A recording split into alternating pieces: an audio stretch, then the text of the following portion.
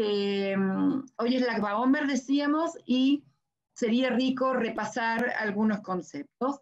Eh, sabemos que estamos en la cuenta del Homer, hoy es el día 33 de la cuenta del Homer, eh, y tenemos entonces que recordar que la, la, cuenta del Homer, Sefirata Homer, tiene una componente histórica, primero una componente agrícola, que es porque entre la cosecha de la avena y la cosecha del trigo, eh, cuando empieza, en Pesach, segundo día de Pesach, empieza la cosecha de la cebada.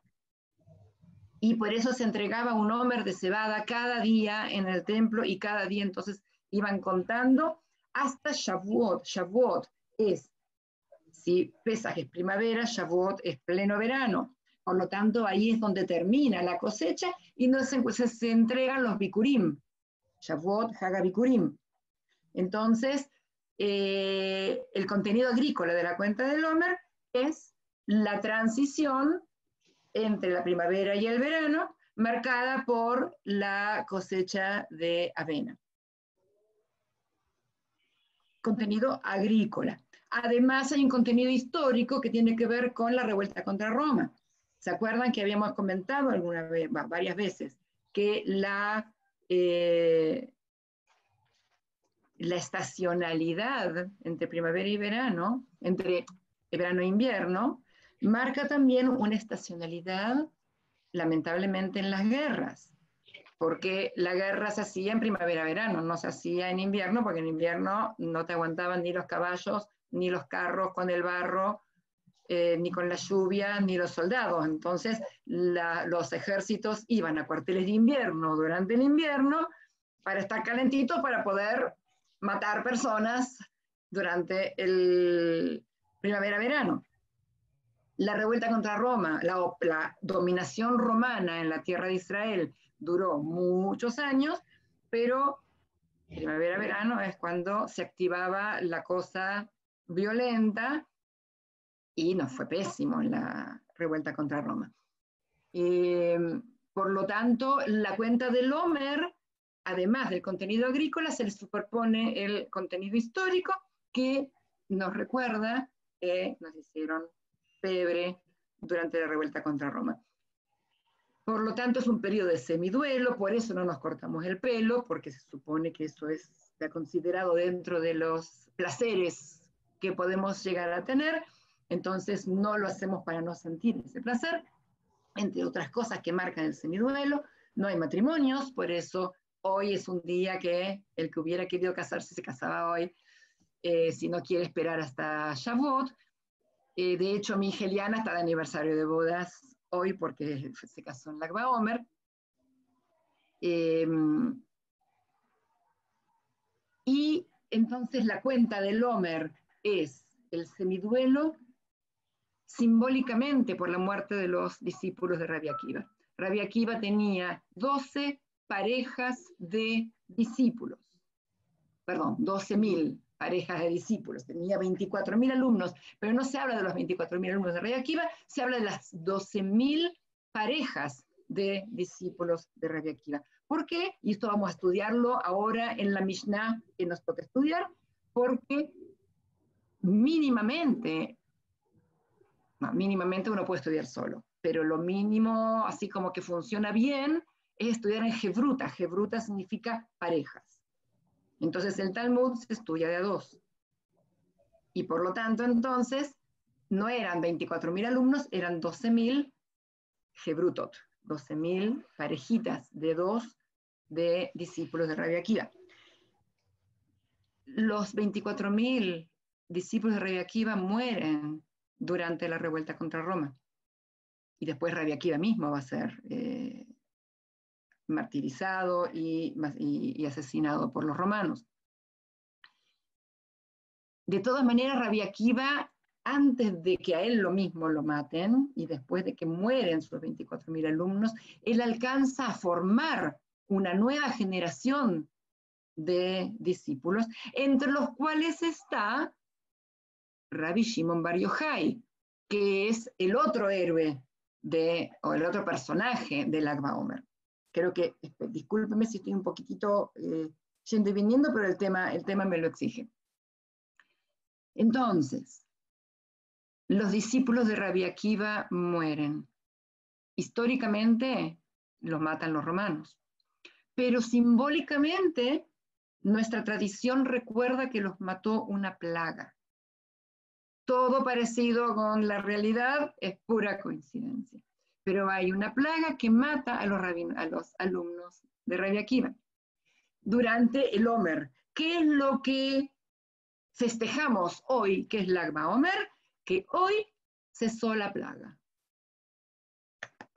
Quizás, el otro día decíamos, no me acuerdo con quién, capaz que hoy termine la plaga. Uno nunca sabe. Entonces, ya, pongámosle onda para que hoy termine la plaga. En todo caso, dentro del Talmud discuten y hay distintas opiniones que dicen que algunos dicen que en Lagba Omer cesó la plaga, o sea que el día 34 del Omer ya no había plaga, mientras que otros dicen que en Lagba Omer no murió ninguno, pero después del día 34 siguieron muriendo. De esa diferencia tenemos dos diferentes costumbres que el semiduelo se interrumpe por 24 horas durante el Omer o que el semiduelo termina en la Omer. Y de ahí, por ejemplo, van a ver que algunas comunidades, esto está dividido entre Ashkenazim y Sefaradim, pero algunas comunidades solamente hacen matrimonios el día del Omer. Ups, ¿qué pasó? Janet Stiefel, bienvenida, entró con bombos y platillos. Em, algunas comunidades hacen bodas el día del Agua Omer y otras comunidades comienzan a hacer bodas a partir del Agua Omer.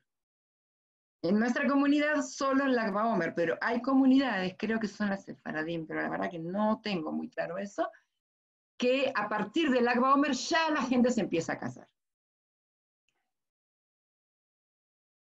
Entonces, lo que sí estamos seguros que hoy estamos festejando, que hoy ningún discípulo de Rey Akiva murió el día de hoy, día del Agua Además, tenemos, ahí tengo, bueno, no importa, tenemos la cuenta eh, espiritual. La cuenta del Homer espiritualmente es esta escalera virtual que vamos subiendo esperando la, la entrega de la Torá desde la libertad física de Pesach a la libertad espiritual que implica tener libertad para decidir y saber lo que debes decidir, eso se trata la, eh, la Torah. La Torah te da la pauta de qué es lo que está bien, qué es lo que tú debes decidir. Entonces, eh, esta escalera nos va llevando desde una libertad a la otra, desde Pesach hasta Shavuot, desde libertad física a libertad espiritual. Y la última es la, em, la mística, que es la que hablamos en la clase pasada, sobre eh, estas sefirot que se van superponiendo y traslapando durante la eh, cuenta del Omer. Hoy es Lagba Omer. Y en Lagba Omer festejamos entonces que no murieron ninguno de los discípulos de Radio pero a la vez festejamos que se murió Rabbi Shimon Bar. ¿Qué significa festejar que se murió Rabbi Shimon? No es que festejamos que se murió, festejamos porque él pidió que su muerte, el día de su muerte, no fuese llorado, sino festejado. Rabbi Shimon Bar muere en Lag Omer y por lo tanto, el Agba Omer es el Yortzeit del rey Shimon. Ergo, es un día de fiesta. Sobre esto me gustaría comentar dos palabras, porque, a ver, hay una, em, una costumbre sefaradí que hacen, a ver si alguna sefaradí por aquí me recuerda el nombre que tiene, eh, pero hace una ascará de la persona que falleció.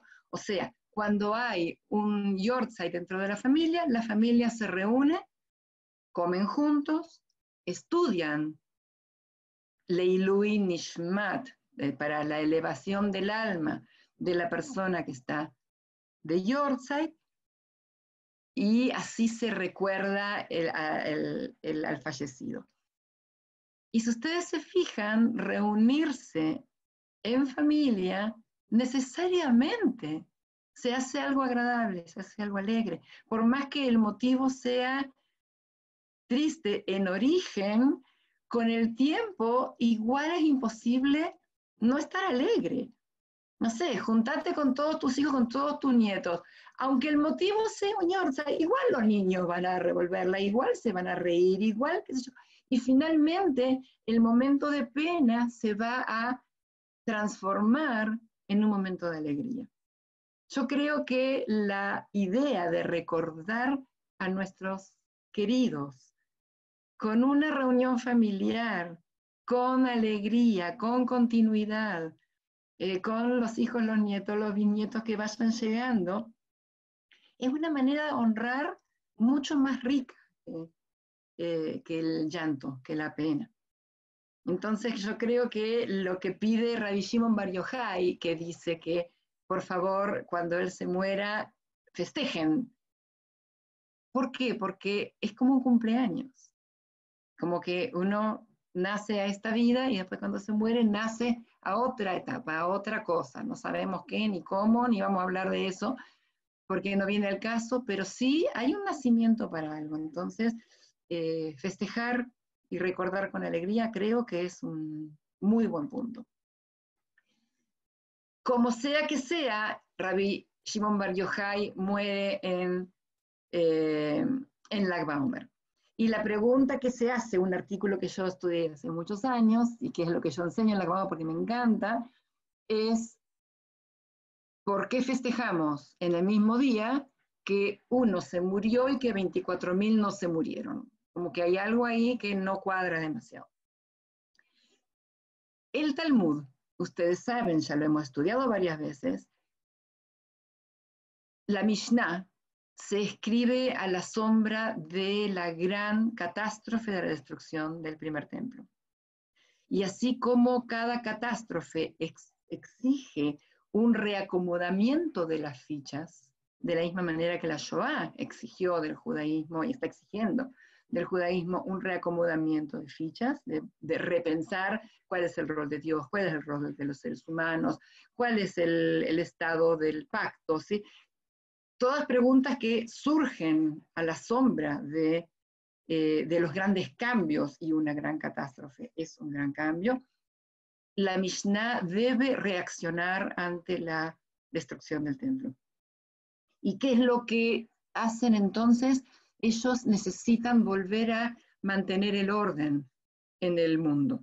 Ellos necesitan transmitir que Dios sigue a cargo de los destinos de la humanidad y del mundo, que el pueblo judío sigue dentro del pacto, que el pacto no se rompió. Y cuando se destruye el templo y la lectura es, estamos hablando del segundo templo, dije primero, me equivoqué creo que dije primero. El Mishnah es eh, el, evento que marca a los sabios de la Mishnah es la destrucción del segundo templo. Em, cuando la lectura posible y que otros hacen es que Dios terminó el pacto, Dios abandonó al pueblo judío.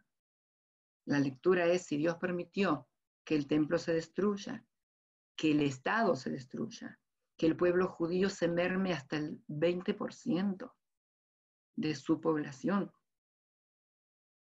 Y sobre todo que no está el templo, que era la manera que teníamos de hacer sacrificio, de comunicarnos con Dios. Obviamente la lectura era que el pueblo judío terminó y eso en términos teológicos significa Dios anuló su pacto. El cristianismo surge a partir de esta crisis llamándose los hijos del nuevo pacto, el nuevo Israel, un nuevo testamento. Y el pueblo judío tiene la patudez de decir, perdón, pero no. Un tropezón no es caída, Dios nos sigue queriendo, Dios nos sigue, eh, el pacto sigue en pie, Y el pueblo judío sigue. ¿Cómo hacen ellos para lidiar, para asumir estas dos cosas que aparentemente son contradictorias? El pueblo sigue, el pacto sigue, pero el templo está destruido. Entonces ellos no pueden decir, el templo se destruye porque Dios nos abandonó, que es lo que leen los demás. Ellos dicen, si, Dios, si, el, si el templo fue destruido, es la voluntad de Dios, no es que Dios lo, lo, lo voltearon, es la voluntad de Dios y por lo tanto es, la, es el castigo por nuestros pecados. Entonces ellos establecen esto que hoy se llama la teología de la retribución, que las cosas, que indica que las cosas malas son castigo por nuestros pecados. La teología de la retribución, ellos mismos también la revisan. Y todo el pensamiento judío, antes y después de eso, lo revisa. Y finalmente en este minuto no se acepta la, teología de la retribución como la única eh, causal de los problemas. Y por eso es que hoy aplicar la teología de la retribución a la Shoah resulta obsceno y resulta impensable para la gran, gran, gran, gran mayoría del pueblo judío. Sigue habiendo dentro de la ultraortodoxia autoridades que plantean que sí.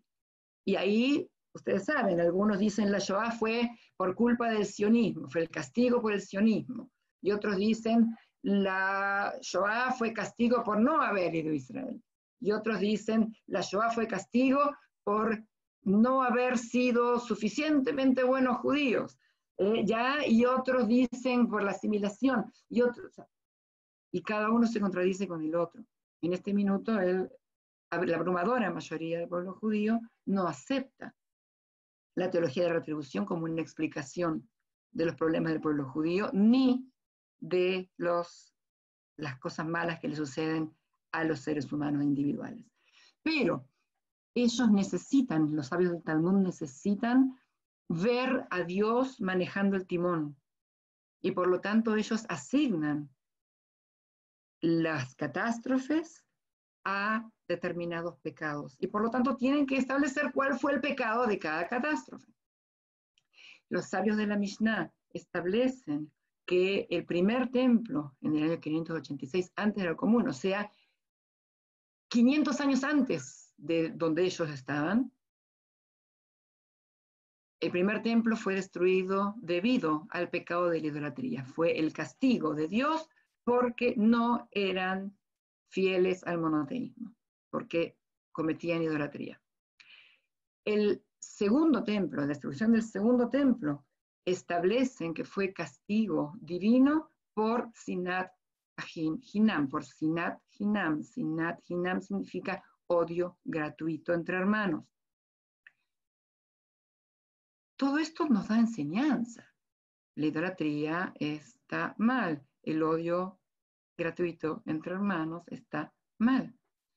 ¿Y por qué mueren los alumnos de Rabia Akiva?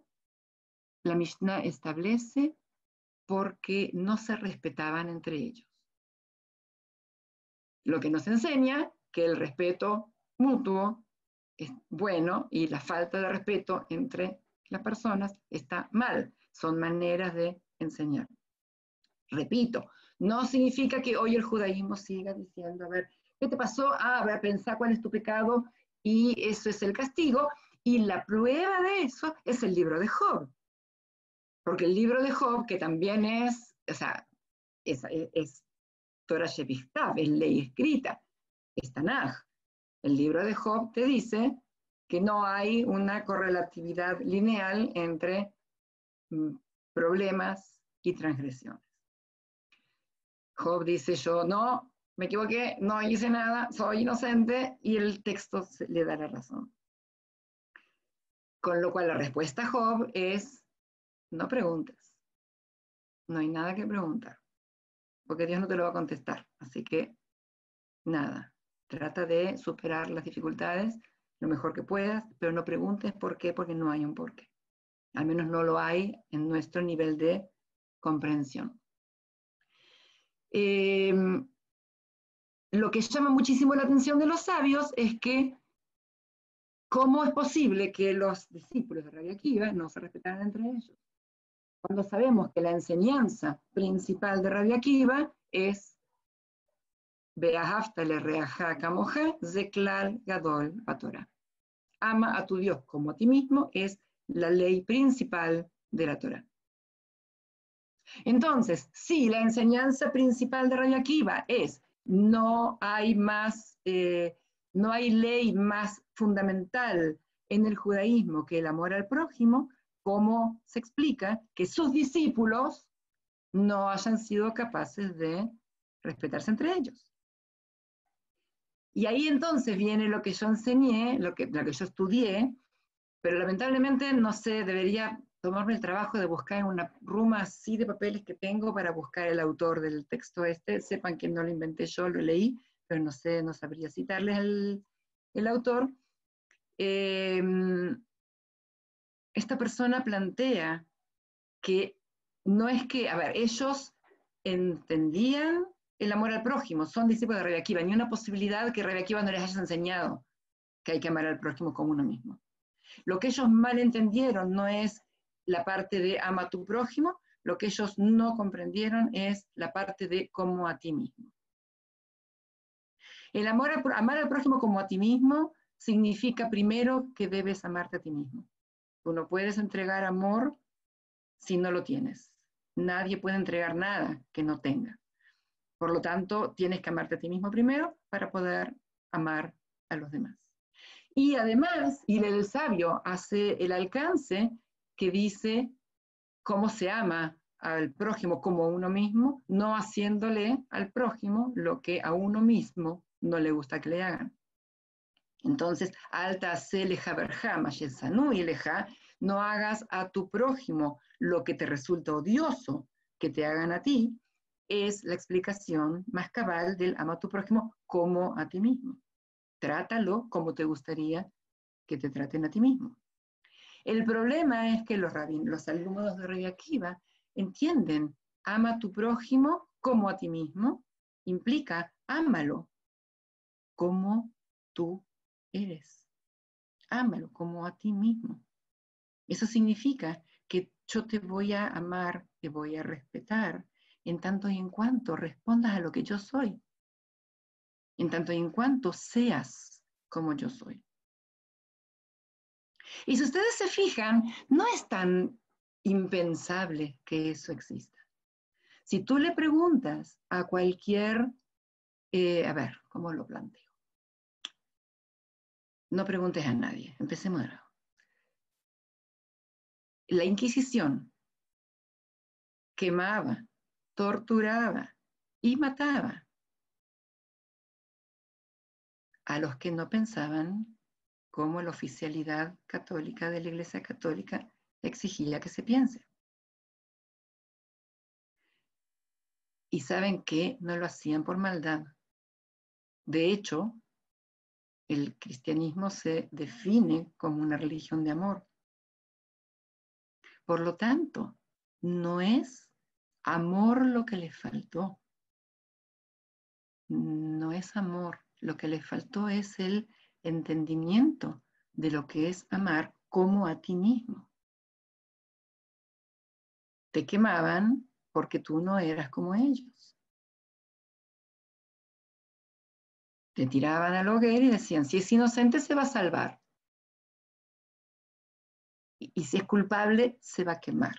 Igual que tiraban al agua, si es con piedra adentro, si es inocente, Dios va a hacer que salga a flote. Si es culpable, se va a hundir, se va a morir. Y lo hacían para purificar tu alma, lo hacían por amor. Un amor mal entendido. En este sentido, a ver, ¿por qué comento esto? para que veamos que no es, una, no es un planteo teórico, existe. Por lo tanto, ¿qué es lo que entendían los alumnos de Rabia Akiva, según este Midrash, según esta explicación? Que para cada uno de los 24.000 alumnos de Rabia Akiva, cada uno consideraba que tenía 23.999 compañeros que estaban equivocados. Simplemente porque no existen dos percepciones idénticas de la realidad. Porque cada uno ve y analiza y filtra la realidad de según su propia mente, su propia manera de ver el mundo. Y no existen dos seres humanos que lo vean igual. Por lo tanto, si amar al prójimo como a mí mismo implica te amaré en cuanto tú seas yo mismo, estamos mal. Y eso pasa también en las parejas. Muchas veces las parejas no se casan con un otro, se casan con un espejo. Y pretenden que el otro sea exactamente como yo mismo. Y ahí es cuando las cosas no funcionan. Por lo tanto, los discípulos de Rabbi Akiva consideraron que amar al prójimo como a uno mismo era exigirle y esperar del otro que sea como uno mismo, para recién ahí poder amarlo. Y ahí entonces es donde estamos mal, donde son, no son capaces de respetarse entre ellos. Y según el Talmud se hacen pasibles del castigo. Ahora, ¿qué pasa con Rabbi Shimon Bar Yochai? Rabbi Shimon Bar Yochai es de la siguiente camada de discípulos de Rabbi Akiva, cuando mueren estos 24.000, Rabbi Akiva vuelve a formar un grupo de discípulos, entre ellos está Rabbi Shimon. Según el Midrash, Rabbi Shimon Bar Yochai está en una reunión con otros, otras personas estudiando y alguien dice Qué lindos los puentes y las carreteras que hacen los romanos, ¿verdad? Uno guarda silencio, otro dice, sí, son fantásticas. Y Rabbi Shimon dice, sí, claro, lindas carreteras para traer ejércitos, lindos puentes para oprimir y para controlar. Entonces, uno, el que había dicho, linda los puentecitos, era un, eh, era un delator, era un malshin, cuando dice a la malshinim lo al teitikva. Era un delator, va y de los delata a Roma. Entonces, el que se cayó lo dejan tranquilo, el que habló mal lo condenan a muerte.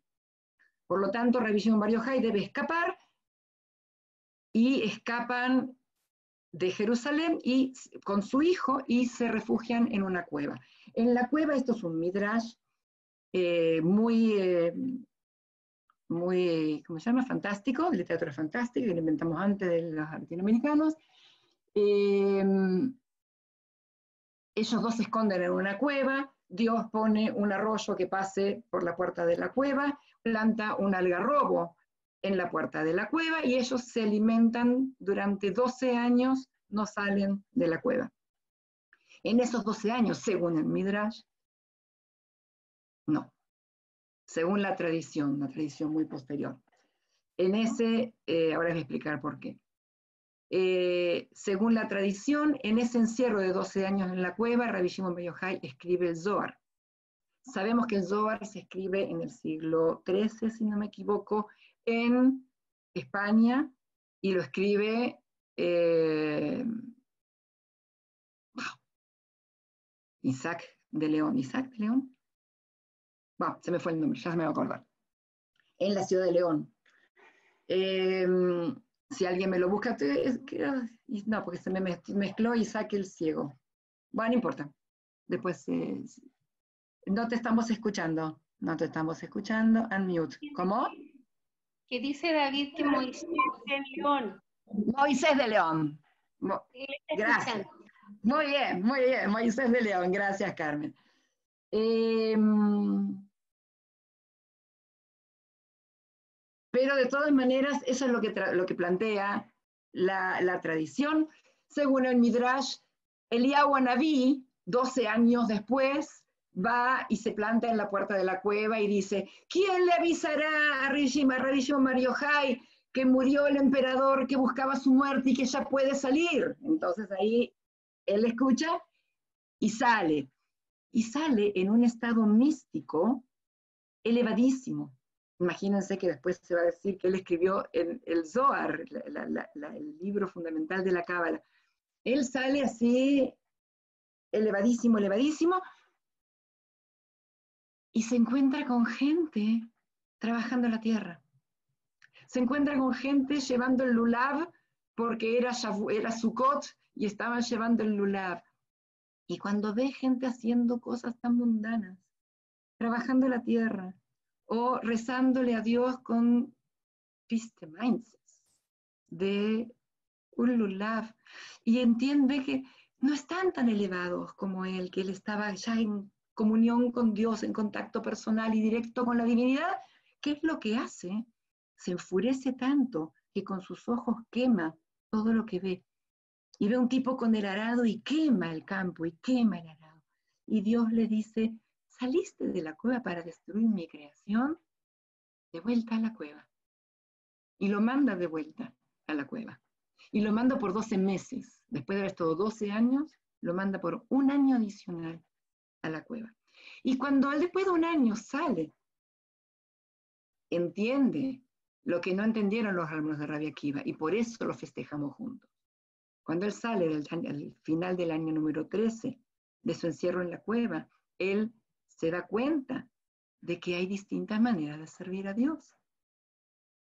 Que una es la mística elevadísima, y otra es arando los campos, y otra es haciendo Netilat Lulav, y que hay distintas maneras de servir a Dios. Por lo tanto, lo que estamos festejando hoy, que es la Omer, es la fiesta de la diversidad. Además de las enfermeras, tenemos la fiesta de la diversidad, porque es la Omer es la instancia en la cual debemos tomar conciencia de que hay distintas maneras de vivir, hay distintas maneras de ver la realidad, hay distintas maneras de acercarse a Dios, hay distintas maneras, punto. Y todas son válidas, en tanto y en cuanto respeten a las demás. Con lo cual entonces tenemos Lagba Omer y podemos empezar a estudiar nuestra Mishnah de hoy, que es la Mishnah 3 del capítulo 6. Me voy a tomar un tecito caliente, más que por el té, para tener algo caliente en las manos, porque igual tengo frío. Y vamos con la Mishnah 3 del capítulo 6, que dice lo siguiente. Quien aprende de su semejante, ya sea un capítulo o una alajá, una ley, una regla, o un versículo, o una expresión, o aún una sola letra, debe dispensarle respeto.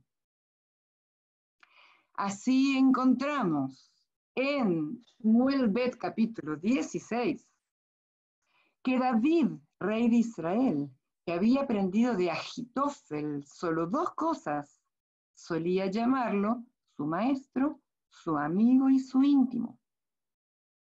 Pues así está dicho en el Salmo 55, tú eres hombre de mi rango, mi amigo, mi íntimo. De lo cual inferimos, sí, David, rey de Israel, que aprendió de Agitofel solo dos cosas, lo consideró su maestro, amigo e íntimo, con mayor razón, el hombre común que aprende de su semejante, ya sea un capítulo, una regla, un versículo, una expresión o tan solo una letra, debe dispensarle respeto. El honor consiste en la dedicación a la Torá, pues así está dicho en Proverbios 3 y en el Proverbio 28, el respeto es la heredad de los sabios, mientras que los íntegros poseerán el bien. Y el bien consiste en el estudio de la Torá, pues así está dicho en Proverbios 4, pues una enseñanza de bien os he conferido, no desdeñéis mi Torah. Muy larga, no tan compleja, vamos a leerla otra vez. No la voy a leer en hebreo porque es muy larga, pero sí voy a leer algunas expresiones en hebreo que tenemos que analizar. La leo otra vez. Mishnah 3, eh, capítulo 6 de Pirkei Avot. Quien aprende de su semejante, alomed me javeró, el que aprende de su javer, javer puede ser semejante, puede ser su amigo. Perek un perek, un capítulo. o alajá ejat, o una alajá, una ley, o pasuk ejad, o un versículo, o dibur ejad, o una expresión, o afilo ot ejad, o, o, o, o afilo aún, o aún una sola letra. Sarich linhog bo debe comportarse hacia él con respeto.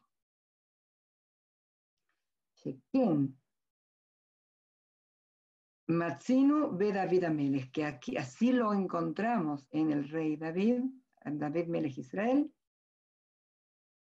que no aprendió, eso lo voy a, es muy largo para leerlo y no tiene ninguna expresión que, puedan, que podamos sacar algo, que no aprendió de Agitofel más que dos cosas y lo llamó Rabó, Rabó es su rabino, su maestro, Alfo Meyuda O, que son dos palabras que no están en el hebreo habitual, que significa su amigo y su íntimo. Y aquí vienen las citas. ¿Se acuerdan que la clase pasada dijimos que podemos aprender tanto de lo que dice el sabio como de las citas sobre las cuales se eh, apoya? Lo termino de leer y partimos con el análisis, de lo cual inferimos, acá sí hay otra cosa que tenemos que saber, Calva Homer, esto es una cosa que tenemos que estudiar, de lo cual inferimos que si de Agitofel aprendió dos cosas y lo, llamó maestro íntimo, eh, amigo e íntimo, Calva Homer, con mayor razón, el hombre cómo aprende eso semejante, un capítulo, un arreglo, un versículo, expresión, una letra, debe comportarse hacia él con respeto. Y aquí viene lo otro. Ve'ein kavod, la Torah. No hay otro, otra honra, otro kavod que la Torah. Shenemar, como está escrito, aquí está el respeto, es la heredad de los sabios. Jajamim, Injalu, bueno, no importa, no importa, se hace más complicado.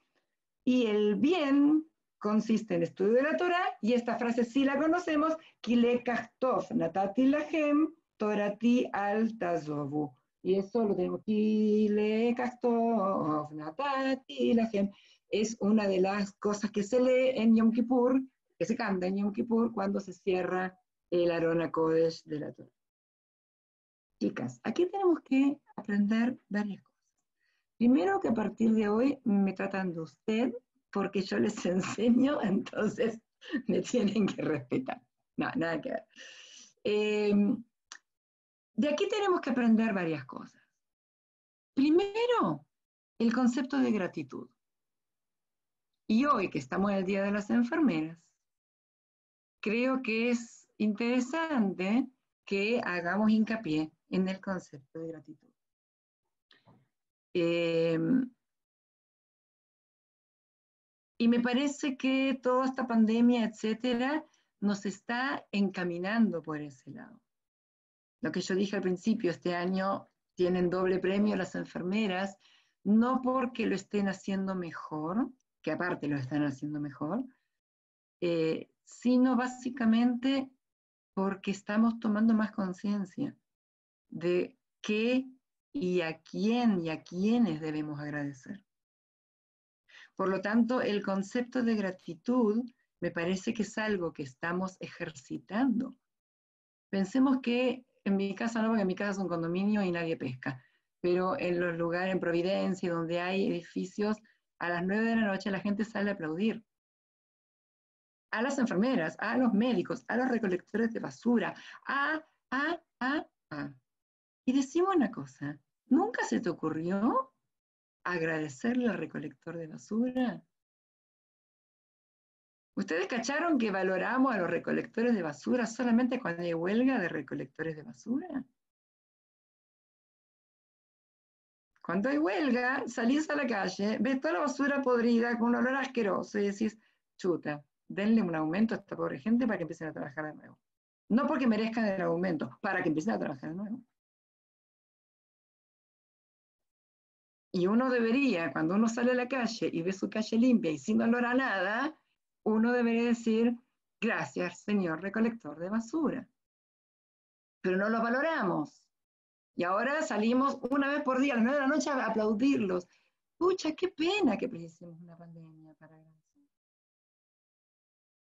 Igual que qué pena que necesitemos pandemia para todas estas cosas buenas que estamos encontrando, estar en casa, entretenernos solitos, valorar lo que tenemos, valorar la salud que tenemos.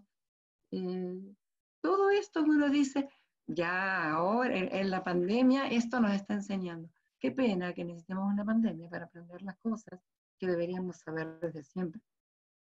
Lo que, lo que tenemos aquí es que hay que tener gratitud hacia aquel que te enseña algo. Y este algo lo va a ir clasificando en distintos niveles. Lo primero que dice, aquí que te enseña un capítulo, una alajá. Alajá es ley, o sea, todo aquel que te enseña cómo vivir de una manera judaica, cómo observar la alajá, merece tu respeto la interpretación de estas primeras capítulo y alajá y regla se refiere a Torah Shebealpe, al Talmud, a la ley oral. Y sigue diciendo, un, un capítulo o un versículo, dice Perek Ejad o Pasuk y ahí entonces se refiere a Torah Shebealpe, a la ley escrita. Todo aquel y aparte dice diburejad, y diburejad es una expresión. Eso significa que deberíamos, debemos sentir gratitud y otorgar respeto. Linhog bo bejavod, comportarnos con esta persona con javod, con kavod, con honra. Aquí, ante quién deberíamos comportarnos con cabod, ¿a quién deberíamos honrar? A todos los seres humanos. Si es que queremos considerarnos sabios, porque el Talmud mismo, en el mismo Pirkei Avot, va a decir, ya dijo, ya lo estudiamos hace mucho, Miu Jajam Ha Lomed Mikolejad. ¿Quién es sabio? el que aprende de toda gente. Alomed Mikolejad, el que aprende de todos. Por lo tanto, el sabio no es el que va a estudiar a una academia y aprende de un gran maestro. El sabio es aquel que aprende de cada uno. Por lo tanto, deberíamos honrar al rector de basura que nos enseña que uno puede ganarse la vida dignamente con lo que pueda y lo que sepa hacer. Y aprendemos también de las enfermeras, a veces, muchas veces, casi siempre o siempre, dejar todo por un enfermo.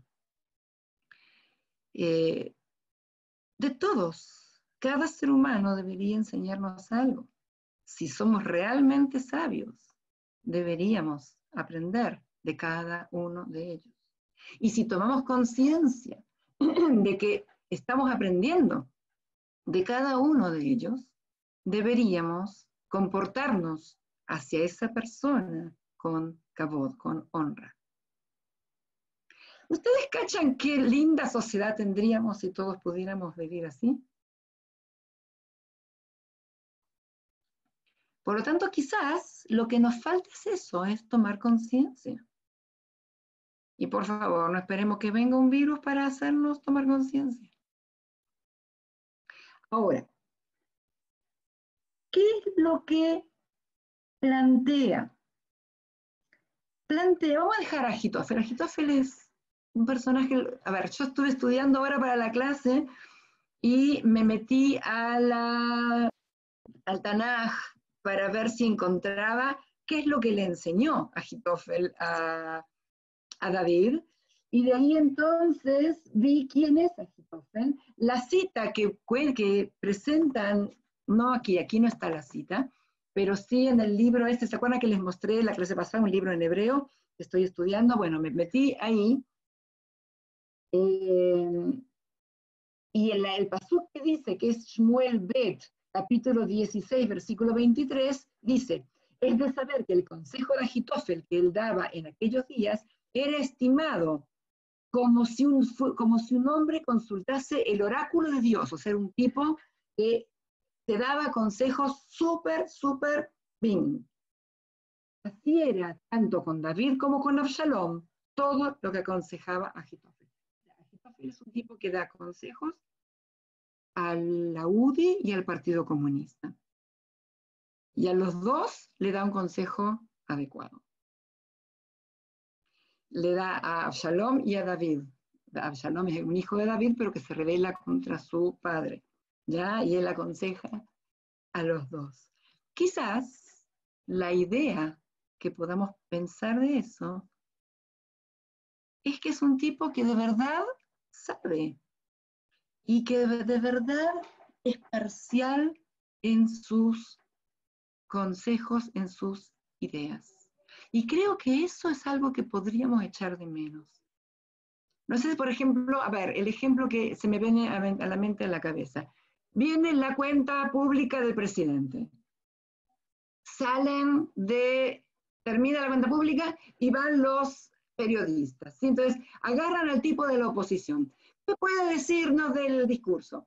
Fue una porquería, no habló de esto, no habló de lo otro, no dijo esto, no dijo lo otro, ta, y después van al tipo de la coalición de gobierno. ¿Qué opina? Pues, maravilloso, dijo esto, dijo lo otro, dijo aquello.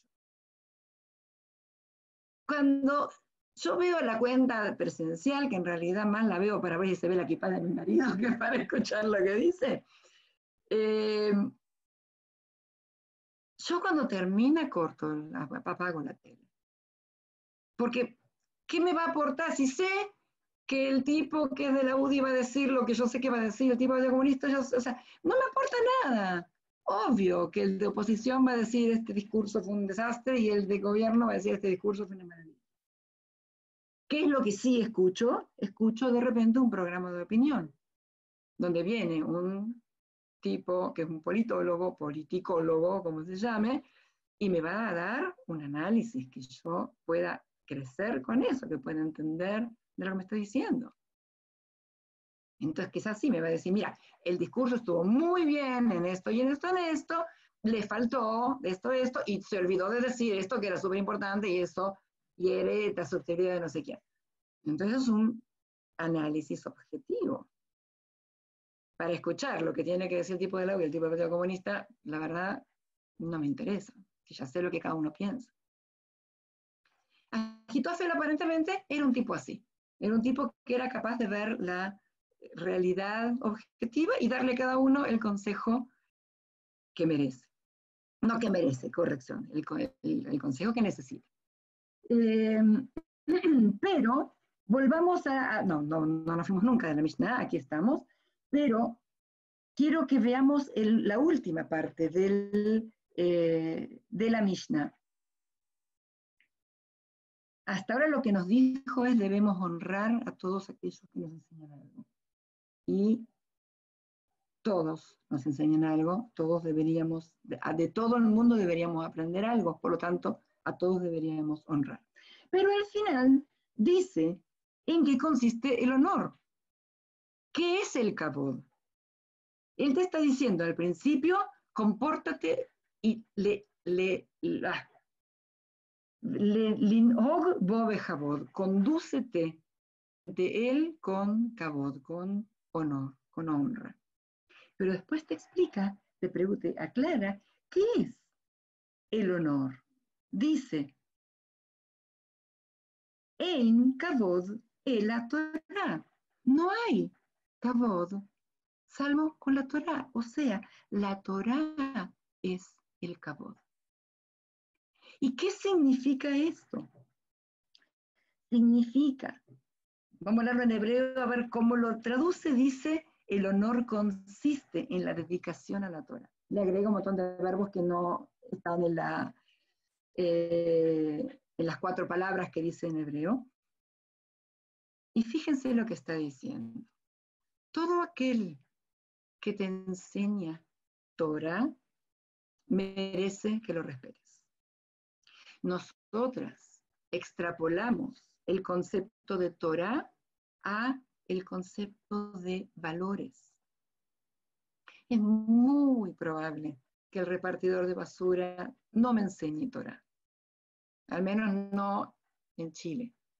Capaz que si voy a Israel, justo el tipo es un inmigrante de el Yemen que saca la basura y me puede hablar de Torah. Pero es altamente improbable que un, un recolector de basura en Santiago de Chile me enseñe Torah.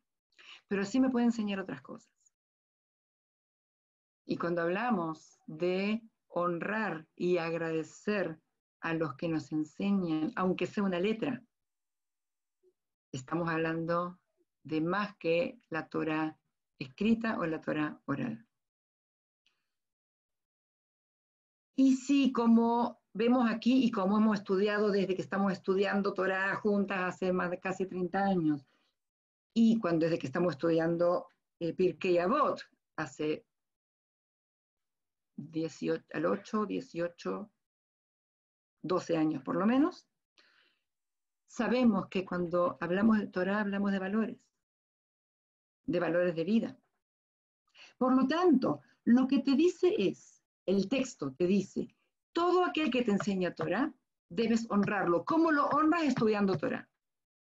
Parece medio como una tautología, como que el que te enseña Torah lo debes honrar estudiando Torah, con lo cual estaríamos como en un círculo virtuoso que la manera de agradecer al que te enseñó Torah es estudiando Torah. Pero dice, el la Torah. No dice todos los verbos que agrega, porque la traducción dice, el honor consiste en la dedicación a la Torah. En hebreo dice, en kabod la Torah. No hay nada que sea honra, respeto, fuera de la Torah. O sea, ¿cómo agradeces al que te enseña Torah? Estudiando Torah y enseñando Torah. ¿Cómo agradeces al que te enseñó algún valor de vida, viviendo de acuerdo a ese valor de vida y enseñando, transmitiendo ese valor de vida? Yo creo que de alguna manera podemos pensar esto, por ejemplo, en cuanto a la honra que debemos a nuestros padres, los valores que recibimos de ellos, son los que vivimos en nuestra vida y los que enseñamos a nuestros hijos. Y esa es la manera de honrarlos.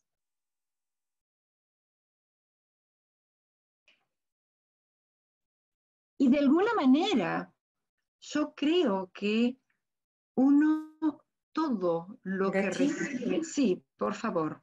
No, y, y un poco más quizás, que honras además a tus padres, que te enseñaron a ti esos valores y que eres capaz de transmitirlo a tus hijos o a los que, te rodean. Claro, claro, claro, eso es. Eso es. Todo lo que tú recibes, solamente puedes agradecerlo dándolo, entregándolo. ¿Ok, Aileen? hablando en este minuto con el comienzo de la clase respecto a cuando se destruye el segundo templo y, y los judíos nos tenemos que rearmar de una forma distinta, pero tenemos la base de lo que Dios nos ha estado enseñando y lo que espera de nosotros. Y en ese sentido me pasa que lo encuentro súper lindo la posibilidad de juntar a la familia para el Yorkshire porque en ese minuto eh, nosotros lo que vamos a hacer es recordar las vivencias y recordar las enseñanzas de la persona que amamos que ya no está y la estamos transmitiendo de generación en generación y esa, en el fondo, sus enseñanzas y su amor trasciende el aspecto físico y se transmite. Y en ese mismo sentido, eh, Dios nos ama a nosotros y nos pide también que nos rearmemos cuando sentimos que ya no está, porque el templo se destruyó, pero Él ya nos dio elementos para poder seguir viviendo, es decir, se me arma con el respeto, la dimensión, la persona que no está con lo que Dios quiere de nosotros. Porque yo creo que nuestros padres que ya no están quieren que nosotros estemos bien. Quieren que podamos pararnos de nuevo, quieren que nuestros hijos estén bien, que sus nietos, etc. Lo mismo que Dios quería de los judíos. Total, total. Y si tú te fijas, si, ustedes se fijan, en general, la, a ver, la continuidad valórica se da así. Y en general, la manera de agradecer es transmitiendo. Uno no agradece. A ver, me voy a, otro tema. Dentro de lo mismo, sí, pero me voy a otro tema. ¿Cómo tú agradeces cosas que recibes o cosas que gente hizo por ti cuando no es posible devolver un favor. Más allá de enseñanzas, que creo que ya nos quedó súper claro, ¿cuántas veces a ti te hacen un favor y tú no puedes devolver ese favor? O porque la persona no está, o porque ya no sabes quién fue, o simplemente porque la situación, la necesidad no se da. Estoy pensando, por ejemplo, por ejemplo, en la mitzvah de Achnasat Orhim, la mitzvah de recibir a los huéspedes. Si tú alguna vez estuviste necesitando que alguien te recoja, te reciba para un Pesaj, porque recién llegaste a la ciudad y no tienes a nadie, eh, cualquiera de las situaciones, ya de, uno se siente a veces desamparado y viene alguien y te invita a su casa o te, te acoge, te da la bienvenida a un lugar. Tú no puedes agradecerle a esa persona acogiéndolo y dándole la bienvenida, porque esa persona no necesita eso, no está en esa situación de vulnerabilidad en la cual tú estuviste y esa persona te, ayudó. ¿Cómo haces para agradecerle? Más allá de decirle, te pasaste, gracias, me salvaste la vida, etcétera. Pues siendo generoso cuando tú tengas tu... Ups, ¿qué pasó aquí? Cuando tú tengas alguien que tenga esa necesidad. ¿Me entienden? Gachi. Sí. Yo creo que siempre he pensado lo mismo, que eh, ir repitiendo en el fondo las cosas que tú fuiste aprendiendo de, por ejemplo, de tus padres, eso es como el, preservarte, el, mantenerte eh, vivo y en el recuerdo por siempre, es no, no desaparecer aunque estés muerto, sino que ir, que muchas veces es que mi abuelo, es que mi abuela, que ella aprendió de sus abuelos, es tener presente siempre eh, seres que ya no están con nosotros físicamente y que, que, son parte igual de nuestra vida. Es trascender en el fondo. Esa es la trascendencia, claro que sí. Y siguen estando porque perpetuamos sus valores. Pero si ustedes se fijan, esto, eh, a ver, yo no la vi la película, pero imagino que por ese lado debe ir el tema de cadena de favores. ¿Mm? Eh, por eso, va, va por enseñanzas y va por acciones y por actitudes. La manera de agradecer es transmitir. Yo creo que yo les conté una vez, cuando estaba pensando en esto cuando les hablaba recién sobre sentirse desamparado, cuando nosotros nos fuimos a Israel para que Doro terminara de estudiar el rabinato, llegamos, íbamos a llegar antes de eh, Shemini Atzeret, eh, pero el vuelo se atrasó, la aduana se atrasó y llegamos muy antes de Shemini Atzeret. Sabía, la idea era llegamos al mediodía y teníamos tiempo para, llegamos a última, última, requete, última hora, llovía a cántaros, primera lluvia del año, la gente muy contenta, pero nosotros llegamos de un viaje de dos, tres días que hemos estado con Yael Bebita y no teníamos comida, ni para ella ni para nosotros. Llovía a cántaros, era hack, estaba todo, todo, todo cerrado, eh, y tampoco a comprar porque era hack. Y nos quedamos, estamos ahí, y yo no tenía leche para mi bebé de un año y tres meses. Y no teníamos comida para nosotros y le fuimos a preguntar al conserje del hotel de dónde podíamos ir a, conseguir algo. Y dijo, ah, no, está todo cerrado. Tendría que irse a, a, los árabes, que ahí puede haber abierto ni una posibilidad.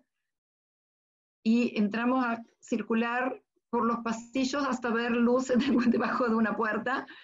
Y le golpeamos la puerta y le dijimos, mira, estamos recién llegados, necesitamos algo para comer nos dieron una cuestioncita de, de, leche, no sé qué, y una latita de atún o de sardina, no sé qué, que ellos tenían.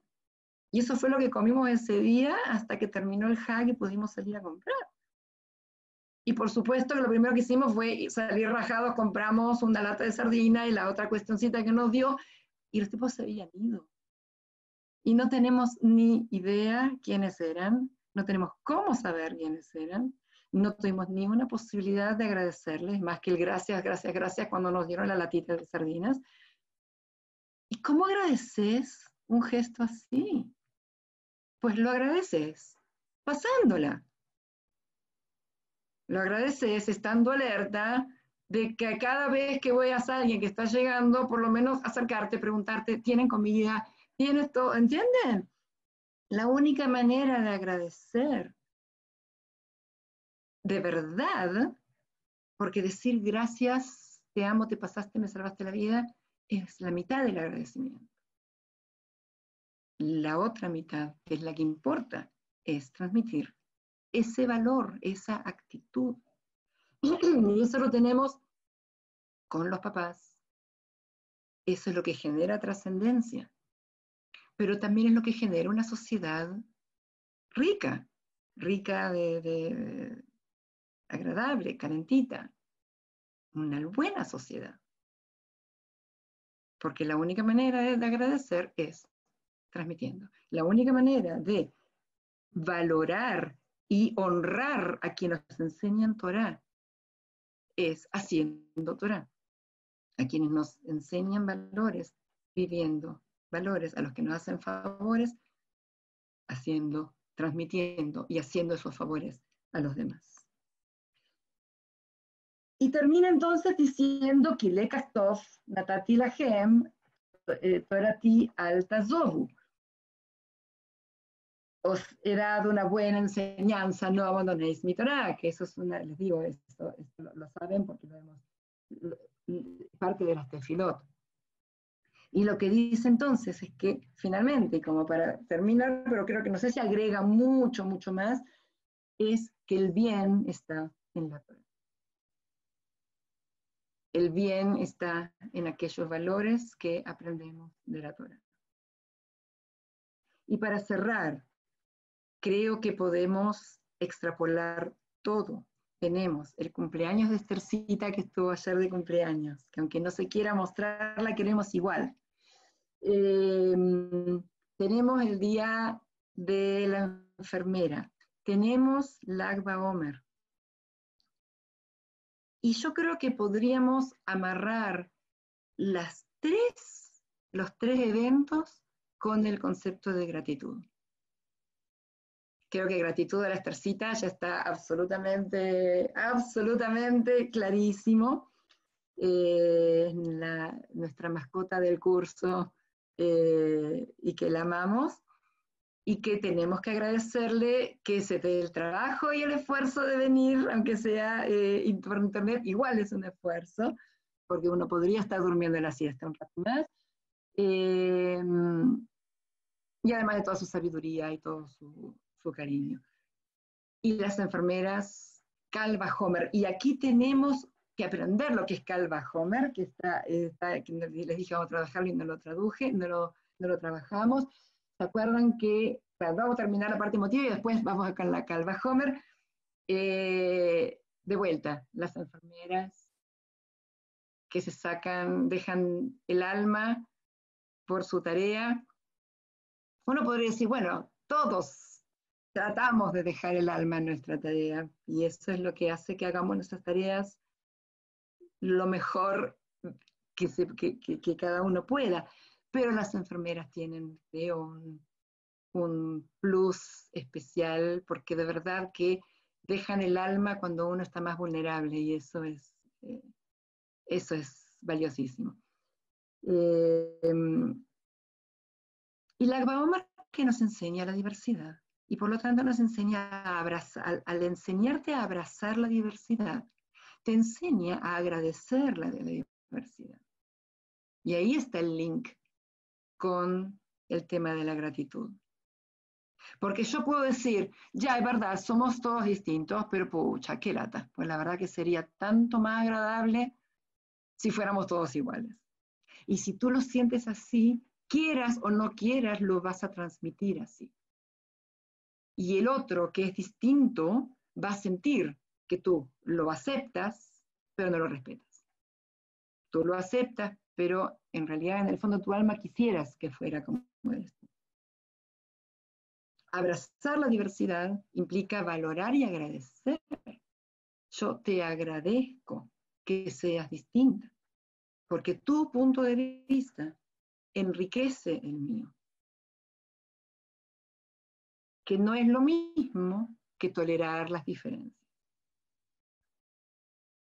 En la Baomer aprendemos a agradecer las diferencias dos palabritas sobre lo que es Calva Homer. ¿Se acuerdan que la semana pasada estudiamos distintas eh, maneras de lograr el apoyo de un versículo para la idea que uno tiene? Habíamos visto lo de tomar las iniciales, habíamos visto eh, la gramática creativa, de sacar una vocal, meter una vocal, eh, inventar que tal palabra está relacionada con tal otra porque suena más o menos igual, aunque no tenga nada que ver, pero para dar el cuestión. Em, ah, y lo otro era tomar de la Torá palabras, sacarlas de contexto, cambiarle el significado y tirarle lo que uno quiere. La otra es la que aprendimos aquí, que es Calva Homer. Calva Homer significa con más razón. Sí, algo pasa de esta manera, con más razón cuando pasa de otra manera. Y como usa el Calva Homer diciendo, si David aprendió de Agitofel, que era un tipo que no le tenía ninguna fidelidad. Él daba consejos a quien se lo pidiera. A quien se lo pidiera. ¿Y saben cuál es el consejo que le da a Shalom, que es el hijo de David y que está tratando de destronar a su padre. Le da un genial consejo que lo hace, lo cumple. Agitofel le dice, porque David abandona su palacio para refugiarse de Absalón para que no lo mate. Agitofel le dice, toma a las concubinas de tu padre. Y así lo vas a fregar bien fregado. Y Absalón lo hace. ¿Qué quiere decir? Que es verdad que el consejo es brillante, pero es un consejo absolutamente objetivo, porque después le da un buen consejo a David también. O sea, sí, David aprendió de Agitofel. Dos cositas nomás.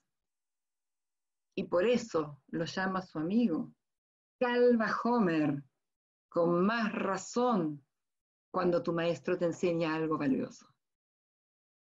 Cuando aprendes Torah, cuando aprendes valores, cuando recibes favores. Calva Homer, con más razón, vale lo que valía antes. ¿Estamos?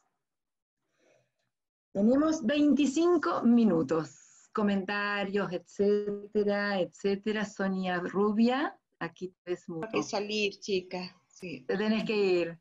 Ya. Espera, Sonia. ¿Se fue? Ay, se fue. Bueno, espérenme que les tengo que sacar una foto. Lástima que se nos fue, dijo me voy y se fue sin avisar. O sea, sí avisó, pero no, no está bien. Espérenme. Chao A todas, igual a mi nombre de un abrazo. Ya teníamos que sacar la foto porque después hacen propagandas con esto.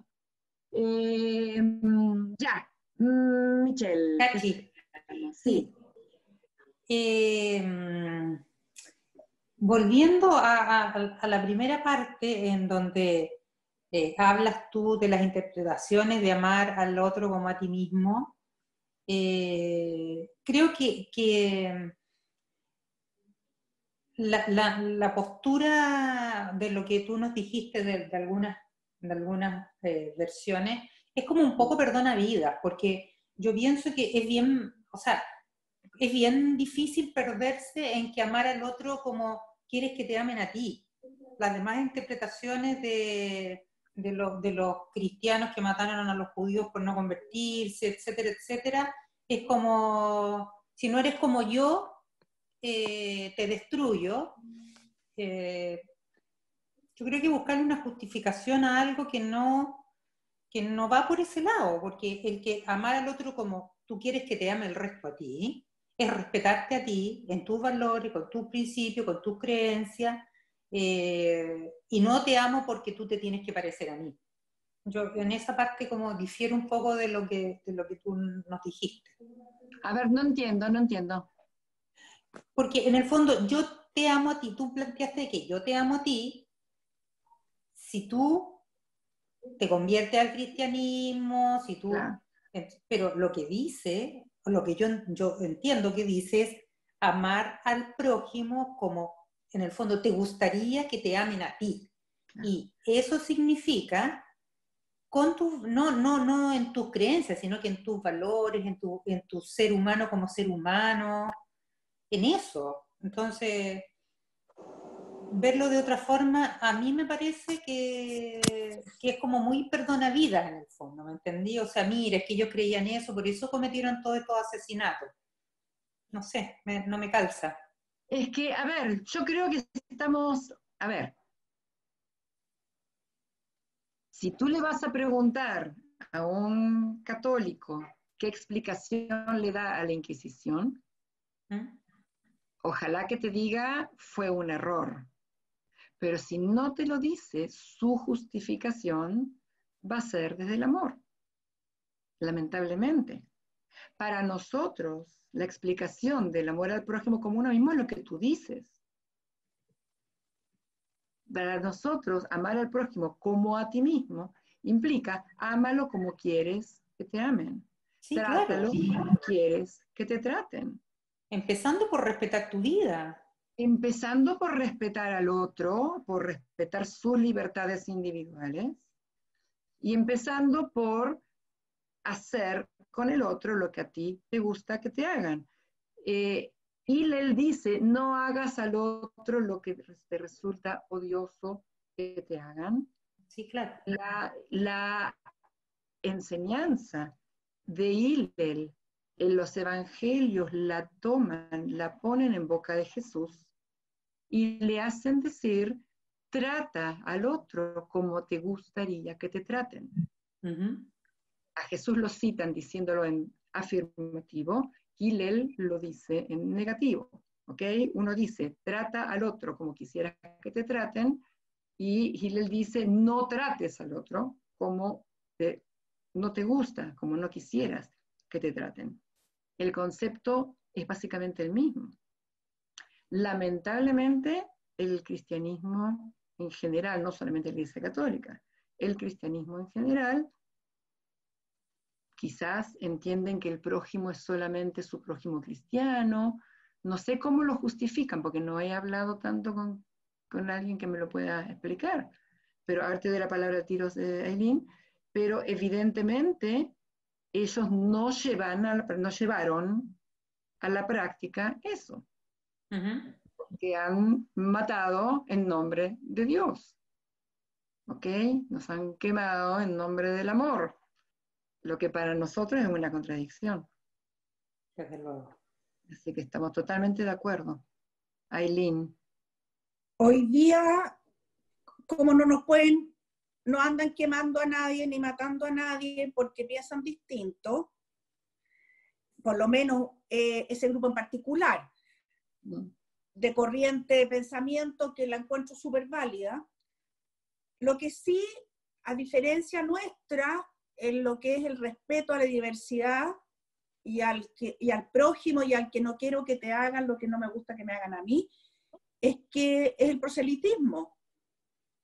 Porque por amor, porque creen que poseen la verdad, andan convenciendo a la humanidad históricamente de que el cristianismo y eh, es la corriente de llegar a Dios. Y a donde han estado, han ido, porque a mí me tocó una vez conversar con un cura. Entonces estábamos conversando y el tipo en la mitad le dio. Entonces le dije, oiga señor, le dije yo, yo he conversado todo este rato con usted y he respetado su postura, porque usted no... Yo era niña, estaba en la universidad en ese tiempo, porque una amiga le- que, que es católica tenía este cura conocido. Yo lo respetaba a usted todo el rato, y usted quiere invitarme a misa y que la cuestión... ¿Qué onda? Es decir, no le usé esas palabras, pero yo me molesté. Y él me dijo, te pido disculpas si te sentiste mal. Es mi obligación tratar de convencerte. Ay, Y yo lo quedé mirando y me quedó meridianamente claro, porque nosotros como judíos andamos convenciendo a nadie. Somos los que somos, el otro es el que cada uno con sus valores, con su mirada, todo es. Y yo en ese contexto he sido capaz de estudiar budismo y he sido capaz, pero yo soy judía, ¿ya? Y a mí que no me toque nadie, yo no toco al otro. Pero no todos son así, es decir, el, el cristianismo hasta el día de hoy, en forma suavecita, está haciendo proselitismo porque considera que el otro no está en el camino correcto. A mí me tocó en La Paz con un cliente, habló que estos indios que son eh, paganos. Y yo lo quedo mirando y le digo, ay, momentito, yo no los criticaría como tú, porque resulta que estos paganos, entre comillas, tienen un respeto por la Pachamama que no lo tenemos nosotros. Ellos sacan el agua de la tierra, beben crecen sus árboles y sus frutos, sus animales pastan, de ahí sacan la lana para sus abrigos, con las maderas hacen los... Es decir, ellos desde su cultura y desde su capacidad adoran lo que les brinda todo. Me quedo mirando el gallo. Sí, la parte, la parte del respeto mutuo nos falta. Como humanidad nos falta. Sí. No sé si el- la epidemia esta va a mejorar mucho eso. No lo creo, no lo Oye, hablando de la oportunidad de la epidemia, por las que viven en edificio y las que viven en casa lo pueden hacer también, nosotros tenemos una caja en recepción del edificio y bajamos eh, víveres, por ejemplo, yo bajo porotos, tallarines, salsa de tomate, harina, aceite, ese tipo de cosas, todas las semanas para los recolectores de basura. No tienen pa' qué- ¿Ah? Eso. está bueno. Está bueno. Podemos dejarlo en la entrada, los que vienen en casa a lo mejor con una nota linda, a la hora que uno sabe que pasa el señor, con una misma bolsa de corner shop, para que se la lleven. po. Sí. Con cuidado de que no sé, no sé cuánto tiempo tienen para andar leyendo cartitas, ¿eh? Yo tengo No, pero en el fondo, mi preocupación que habría- No, no pero sé que, mira, gracias recolector, una cosa así, para que sepan que es para él, en ese sentido. me parece un poquito riesgoso. Oye, Gachi, La última cosa. riesgoso. Si yo fuera recolector de basura, van muy automatizados. No sé si, oh, hay comida, chicos. saca- No, no, me- no sé. Me encanta la idea, no sé si es viable. Chicos, tengo que hacer una escala técnica. Sigan, voy y vengo. No, lo que yo digo es para que sepan que es para ellos. O que diga recolector de basura, una cosa así, porque si no el tipo se va a encontrar con una bolsa y a lo mejor no se la va a llevar. Ah, pero yo creo que todo el mundo las identifica. Aileen, aquí se les entrega esa bolsa y saben que es del edificio Le Club y punto. O sea, quién Pero- dio, no dio, pero No, ellos o sea, llevan una bolsa, una vez a la semana recogen una bolsa. Pero eso en un edificio, pero la que vive en una casa no va a estar esperando que pase el basurero. Entonces, en ese sentido, poner una bolsa que diga, señor recolector, porque si no el gallo no va a saber que es para él. Eso es lo único que digo. No digo que identifiquen quién regala quién. En un edificio es más fácil, Carmencita, que en una casa. Eso es todo. Fue muy fácil, sí. Ya, volví. Volví. Ya. Oye, Gachi, Gachi, perdón, Sí. ¿se, se motivó la comunidad a, a donar eh, para, el, para el Mercas, para el círculo? Eh, no tengo idea cómo va eso, no, Ah. no tengo injerencia en eso. Ya. No Ah, sé. me- no sé si leyeron el artículo, salió un artículo en la palabra esta semana. Una, dos familias eh, donaron un fondo que se va a llamar Fondo Cadima, que es un fondo de- para eh, tener dinero para apoyar a socios cesantes. Ah, no, no lo leí. Sí, ahí es un fondo, ellos son dos familias, la, el Moishe Yudelevich con la Gaby Rosenblatt y el Sami Yudelevich con la Rosy Klein, que donaron creo que 10 millones de pesos o 15 millones de pesos, no me acuerdo la cifra, pero más o menos dentro de ese, rango, o 10 millones cada familia, no sé, pero mucha plata para tener un fondo de apoyo a, a la gente que vaya quedando cesante. Eh, para socios del círculo, porque es una donación que ellos hacen al círculo, eh, y para todo aquel que necesite para que poder ayudar hasta que vuelva la normalidad y que la gente pueda volver a trabajar. Así que eso es súper, súper lindo, súper importante, eh, y es súper importante eh, publicitarlo, no solamente para que, eh, ojalá que nadie necesite, pero la cosa no pinta como que va a ser así, y para que en caso de necesidad que alguien, la gente sepa que está ese fondo, y además para que el que quiera aportar a ese fondo para que sea más, eh, más abundante, por supuesto que puede que, que colabore y que engorde eso. Eh, Vicky. Es que me, se me fue la onda. Llegué a, a que habían hecho donaciones, pero no escuché qué, qué tipo de... La donación es para eh, ayudar a personas de la comunidad que queden cesantes. ¿Ya? En caso de cesantía. Hay mucha gente que va a quedar cesante a partir de ahora y que ya está quedando cesante. Sí. Eh, y el gobierno está apoyando, pero no puede, o sea, no por mala voluntad, pero es imposible que ayude a todos de la medida que necesitan y con todo lo que necesitan.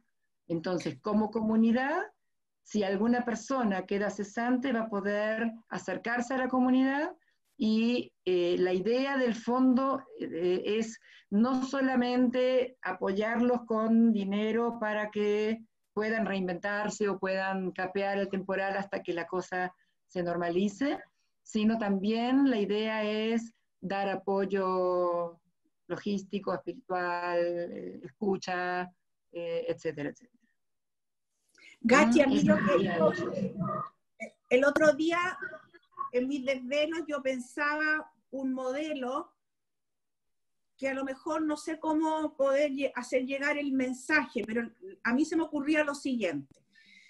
Yo creo que hemos aprendido en este periodo en que la verdad es que con que podamos solventar nuestro vivir, me refiero a tener nuestra casa calentita, tener comida y poder pagar nuestros gastos de todos los días, hoy día es una gran cosa, que hay gente que no lo está pudiendo hacer. Entonces yo pensaba lo siguiente, ¿cómo generar un círculo virtuoso en que las familias que estén con ingresos en esta situación y estén recibiendo una cantidad que están pudiendo vivir, esa familia tenga el compromiso justamente ahora de ser más generosas y dar. O también aquellas familias que tienen un patrimonio que les permite sacar un poco de ahí sin que les va a afectar su vida, que también tengan un compromiso así, ¿sabes? Yo tengo hermanos en este minuto que lo están pasando pésimo y, voy a ayudarles porque yo tengo y, vivo bien. Y así, es decir, gente que no se vio interrumpido sus ingresos y gente que tiene patrimonio que puede hacerlo. No estoy diciendo que está cesante. No sé cómo darle forma a eso. ¿Saber cómo se le da forma, mi amor? Haciendo campaña puerta a puerta. Haciendo campaña llamando a la gente. Lamentablemente, en el círculo, la, no voy a decir la mayoría porque no sé si son muchos o pocos, pero muchos de los grandes donantes que mantenían el círculo funcionando dejaron de dar. Mm. Suspendieron sus donaciones de este año. Y eso es lo que hace que el círculo en este minuto esté, o sea, de verdad, de verdad, de verdad, de verdad, complicado. Porque el círculo se maneja con estas grandes, grandes donaciones. Ahora, que Dios me perdone, pero queda clarísimo que un tipo que era un, o sea, que un gran donante, estaba hablando de muchos millones, que se, se haya vuelto pobre, no. o sea, no, no. Es muy probable que sus empresas no están ganando. Pero... No le está cambiando la vida. No está cambiando la vida. No. Entonces, eso es lo que desespera. Porque hay gente que, ok, sus empresas no están ganando, pero no están empobrecidos. Entonces, ok, si antes sacabas tu donación de la ganancia de tus empresas, pues tendrás que sacar tu donación de tu cuenta bancaria, de donde sea, ¿entendés? Eh, y eso sí es, es muy complicado, porque hay crisis para todo y la comunidad se quedó sin su pie, sin su, sin su base de sustentación. Lo que pasa es que eh, yo creo que es donde... Cualquiera que conozca a alguno de estos señores, preguntarle, oye, ¿sigue donando el círculo? No, este año no voy yo. Lo que pasa es que la base, la, base, la gente le cuesta mucho. Yo el otro día hablaba con otra persona que el hermano está desesperado porque no está pudiendo desarrollar los proyectos que tenía para este año. Entonces eso lo tiene muy mal. Entonces yo le pregunté si tu hermano no hace esos proyectos, no come. No, por supuesto, él tiene su tema económico solucionado. Bueno, entonces que empiece a mirar el techo, le dije ya, y a disfrutar de los rayos del sol, es decir, a ver, ahí está el límite, ahí está la base cuando tú te pones las manos en el corazón y dices, la verdad, tengo mucho, tengo suficiente, no quiero ser más eh, ambicioso porque con lo que tengo ya soy rico, entre comillas, ¿ya? Entonces, el tema es que en verdad esta persona o, o este grupo empresario no están recibiendo utilidad, yo creo que están teniendo pérdida pero su calidad de vida no se ve afectada dado su patrimonio. Por eso yo decía patrimonio y decía flujo de ingresos, que a mi juicio son, es decir, no a mi juicio, son dos cosas distintas. Entonces, ¿cómo, ¿cómo? ¿Sabes lo que se me está ocurriendo mientras hablo?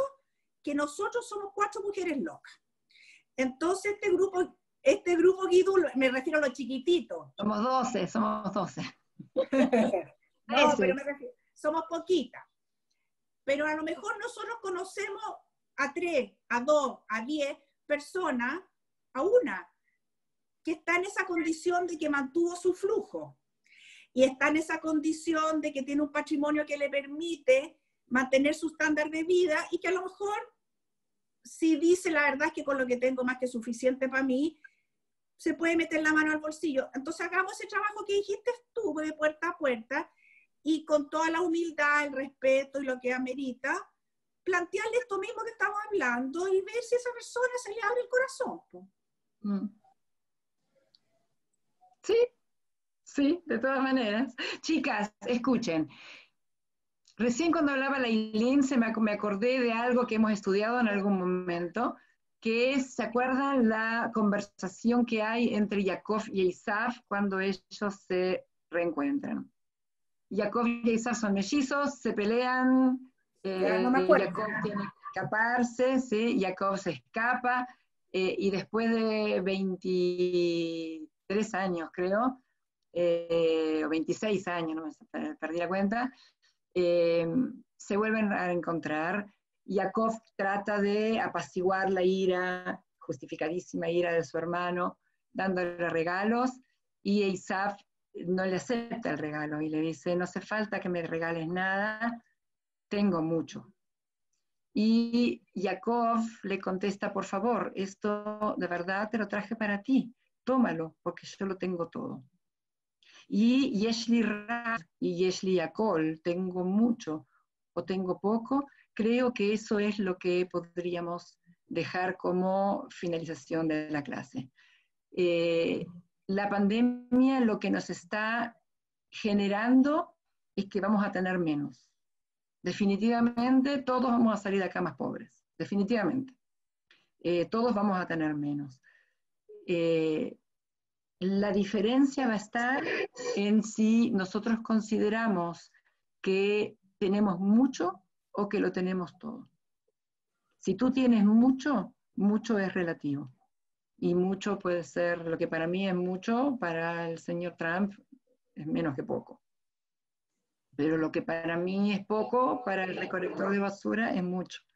Entonces hay mucha diferencia, hay, hay, es un rango, es imposible de calibrar entre tener lo que significa para cada uno tener mucho. Y por lo tanto, quien siente que tiene mucho, siente que podría tener menos o siente que podría tener más. Y va a trabajar para tener más y no tener menos. Pero si tú sientes que lo tienes todo, el señor recolector de basura puede llegar a su casa y sentir que lo tiene todo. Y tanto yo como Trump, cada uno en su nivel económico, uno puede sentir que todavía le faltan cosas o que lo tiene todo.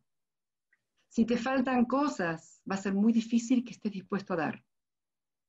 Si consideras que tienes mucho, el temor a tener menos es muy probable que te impida dar.